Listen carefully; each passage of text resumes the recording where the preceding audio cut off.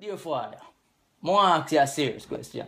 I be a idiot you put on the world? Like, this thing give me an instant headache by looking at it, man. Who in their right mind would buy one of these? Gucci, you need to fix up, man. This no make it. Like you walk around with two cap on your foot. Unless Gucci start make some Halloween costume, and this is the shoes for the Halloween costume, which is gonna be Bigfoot or Chewbacca. Look like a toupee. The man headpiece what them put on when them have the ball patch like mine. Yeah.